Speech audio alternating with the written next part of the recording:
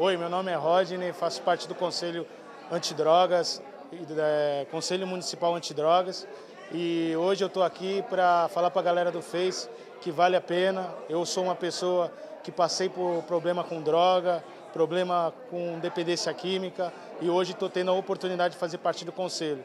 Me recuperei, lutei por 12 anos com essa com essa drogadição e hoje eu estou aí para trazer o exemplo, para poder ajudar, para poder apoiar as pessoas a sair dessa.